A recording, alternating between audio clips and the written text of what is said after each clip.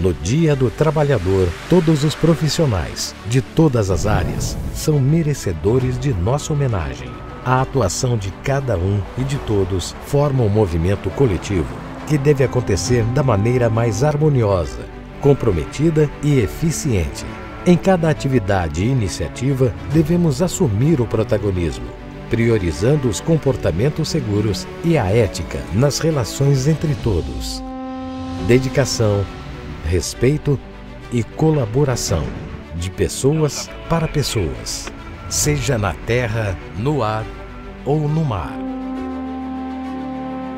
Essa é uma homenagem do Porto Itapoá a todos os trabalhadores do mundo.